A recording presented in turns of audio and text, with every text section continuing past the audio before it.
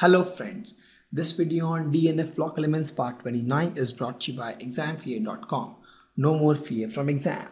There are such compounds also uh, well known for transition metals. See interstitial compounds, see transition metals actually are big in size. Right, since they're big in size, so if you keep two balls together or three balls or four balls together and they're big in size, you'll have a lot of voids, big voids. And in these voids, actually small atoms like carbon, nitrogen, Uh, oxygen, they can actually be fitted. Carbon, nitrogen, hydrogen, sorry, oxygen is big. Yeah, they can actually fit into these big voids. Now, now since the transition metals, the actual atomic size is big, right? Big atomic size of transition metal. Since they are big in size, so when you pack them, when you pack these transition metal atoms together, you'll have so many voids and in these voids, small atoms like carbon, nitrogen, and hydrogen can easily fit in. And this space is called interstitial space. And these elements are called, or these compounds are called interstitial compound. They are not generally non-stoichiometric because they can just just lie somewhere here and there. For example, as I told you, TiH 1.7. The next is how is variability in oxidation states of transition metals different from that of non-transition metals? See, I told you in transition metals and non-transition metals, like both of these shows variable oxidation state, but transition metals, it is more prominent. It is more prominent. We have more and more examples of variable oxidation state in transition metals. For example, Fe2 plus, Fe3 plus both are very common. Okay? So this is my transition metals they have non-transition metals also they have uh, very variable oxidation state but they don't have they're not that much prominent and typically non-transition metals their oxidation state differ by 2 in this case there is no such logic they differ by 1 now we have to predict which of these will be colored in the aqueous solution Let's start with titanium with plus 3 charge. Let's write the electronic configuration of this. It will be A argon 3D1. So 3D1 it has one lone pair electron thus it will be colored. Okay. Unpaired electron imparts color to transition metals. Vanadium with plus 3 charge the electronic configuration will be AR 3D 3 no 3d2 actually. In fact this also has lone pair of electrons uh, unpaired electrons. So this will also be colored. Cu plus the electronic configuration will be ar 3d10 it does not have any uh, unpaired electron. If you see 3d10 1 2 3 4 5 6 7 8 9 10 all the electrons are paired so it is not colored. Right? Now scandium with plus 3 charge the electronic configuration will be ar 3d0 again this also doesn't have any lone pair of electrons so it also won't be colored. Mn2 plus the electronic configuration will be ar and 3d5 again this has five lone pair of electrons so it will also be colored Fe plus electronic configuration will be AR and then it will be 3D5 sorry Fe plus 3D this is Fe plus or Fe plus 3 actually this is Fe plus 3 so Fe3 plus will be 3D5 so this will also be colored because it has 5 lone pair of electron. Cobalt with 2 plus charge.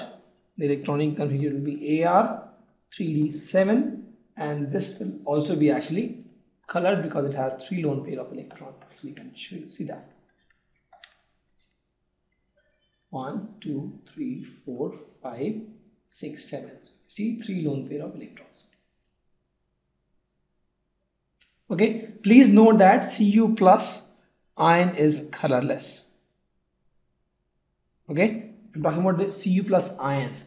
But when you talk about cu2o this is a compound, this is colored, this is red. In fact, Cu2CO3, this is yellow. CUI is brown. So color is actually because of due to due transition and this is in the ions. Okay, please note Cu plus ions are colorless but actually Cu2O is colored. So using this data, we have to comment on the stability of Fe3 plus ions in the acid solution compared to Cr3 plus or Mn3 plus ions. The data given is for to convert Fe3 plus to Fe2 plus, you actually get 0.8 volt of energy. Conversion of chromium plus 3 to chromium plus 2 needs plus 0.4 volt of energy because, because it is negative here. And Mn3 plus to Mn2 plus also gives 1.5 volt of energy. So we compare in ascending order actually Mn3 plus to Mn2 plus this gives 1.5 volt energy Fe3 plus to Fe2 plus gives 0.8 volt of energy and chromium 3 plus to chromium 2 plus this needs actually 0.4 volt of energy. Okay? So in that case mn3 plus is not stable. Why? Because the moment you have mn3 plus it will try to convert into mn2 plus on its own and it will give this much amount of energy. But cr3 plus is stable because to convert cr3 plus to cr2 plus you actually need this much energy. Okay? So we can say that fe3 plus is more stable than Mn3 plus but it is less stable than Cr3 plus. First part is done. The second part is with which iron can be oxidized that means iron can be converted into Fe2 plus as compared to similar process for chromium and manganese. Okay, so iron to iron 2 plus actually this gives you see iron to iron 2 plus will actually gives 0.4 volt of energy. Because iron plus to iron it needs 0.4 volt of energy. So iron to iron plus will give 0.4 volt of energy. Similarly chromium plus to chromium actually needs 0.9 volt of energy. So chromium to chromium plus will actually give 0.9 volt of energy. Similarly here also so this gives 1.2 volt right? Because Mn2 plus to Mn requires 1.2 volt. So Mn to Mn plus 2 gives 1.2 volt. So if we compare these, this is highest. Okay. So ability to get oxides is highest in case of Mn and then chromium and then iron. Right. Mn, chromium and then iron. Manganese, chromium and iron. This is the ability to get oxidized. Okay. So we have to give the reasons for the following. The first one of the D4 species Cr2 plus is strong reducing while Mn3 plus is strongly oxidizing. In fact, we have seen this question. Cr2 plus is reducing and Mn3 plus is oxidizing. Oxidizing means it will reduce on its own, it will become Mn2 plus and Cr2 plus is reducing that means it will oxidize on its own it will become Cr3 plus. So if you see the electronic configuration of Cr3 plus Cr3 plus chromium with 3 plus it is 3d3 and this is stable by T2G configuration. If you talk if you see the electronic configuration of Mn2 plus it is 3d5 and this is also stable using a half filled rule. Both these output are stable and thus chromium 2 plus is reducing and Mn3 plus is oxidizing. We can also actually uh, answer this question based on the value of E naught. So if we see E naught of Cr2 plus to Cr3 plus is 0.41 volt and E oxidation of Mn2 plus to Mn3 plus is again Mn3 plus sorry Mn3 plus to Mn2 plus I'm talking here about E reduction because I'm talking about E reduction this is 1.57 volt So you see Mn3 plus can easily reduce and Cr3 plus 2 plus can easily oxidize. So these values are all positive. The next is cobalt is stable in aqueous solution but in the presence of complex reagent it is easily oxidized. So if we talk about cobalt 2 plus the electronic configuration is 3d7. Okay. If you want to oxidize it actually to cobalt 3 plus you need energy. In fact cobalt 2 plus is stable. Cobalt 2 plus to cobalt 3 plus you need energy that is third ionization energy. But in the presence of complexing agent, it actually oxidizes to cobalt 3 plus. Why? Because the amount of energy released by the stabilization of crystals compensates for this third ionization energy. Okay. Next is D1 configuration is very unstable in ions. So if you have D1, it is very unstable. It will try to lose one electron and becomes D0 this is stable. That means it gets easily oxidized by losing one electron and thus it is a good reducing agent. Which is the first series transition metal which exhibit plus one oxidation state most frequently and why. So if you see here plus one actually is shown only by copper. If you see other they don't even show plus one oxidation state. So copper shows plus one oxidation state because plus one oxidation state electronic configuration is 3D10 4S0 and this is a stable electronic configuration. Calculate the amount number of unpaired electrons in the following Mn3 plus. So Mn3 plus the electronic configuration will be argon 3D4 4S0. So number of unpaired electron is 4.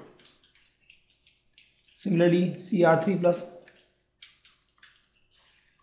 the electronic configuration will be argon 3d 3 4s0 here also the number of unpaired electron is 3 then we have vanadium 3 plus electronic configuration is argon 3d 2 here also the number of unpaired electron is 2 and then I have titanium. Titanium 3 plus the electronic configuration will be AR 3D1 here the number of valence electron will be sorry the number of unpaired electron will be 1 so we uh, we wanted to find number of unpaired electrons so Mn3 plus 4 unpaired electron chromium 3 plus 3 unpaired electron vanadium 3 plus 2 electron and titanium 3 plus 1 unpaired electron. Actually you have to find this way. So for example yeah for manganese, you have to do like this 1, 2, 3, 4. It has 4 unpaired electron. For chromium, it has 1, 2, 3 unpaired electron. For vanadium, it has again 2 unpaired electron. Titanium, it has again 1 unpaired electron. Okay, which among this is the most stable in aqueous solution? If you see chromium is most stable because others there is no stability factor but with chromium we have T2G stability factor with T2G configuration chromium is chromium 3 plus is more stable among all these. Give example and suggest reason of the following features. The first is the lowest oxide of transition metal is basic, highest is amphoteric. The second is the transition metal exhibit highest oxidation state in oxides and fluorides and the highest oxidation state is exhibited by oxanan in metals. We have to explain this. See, we have already told that the lowest oxides of transition metal is basic and the highest is amphoteric. Why? Because in the lowest oxides, some of the valence electrons are not involved in bonding since the electrons, valence electrons not involved in bonding, some. In lowest oxide, some valence electrons are not involved in bonding. They are free and they can donate electron and they behave as base. But higher oxidation state, all of the valence electron are involved in bonding and they don't have any free electron to donate and they act as acids. Okay. The next one is, for example, I told MnO is basic, basic, and Mn2O7 is acidic. Okay. The next was a transition metal exhibit highest oxidation state in oxides and fluorides. Why? Because oxygen and fluorine has high electronegativity, smaller in size, and thus the transition metals actually exhibit higher oxidation state with these metals. For example, V2O5, Mn2O7. The third is the highest oxidation state is exhibited by oxyanions of a metal. See, oxygen again is electronegative, small in size, plus it forms multiple bonds. Thus, the highest oxidation state is shown by oxyanions. For example, MnO4 minus, here you have plus 7 oxidation state. Thank you. Visit examfear.com to watch more videos, attempt free online tests, get free study materials, find tutors and mentors, and much more. Thanks once again.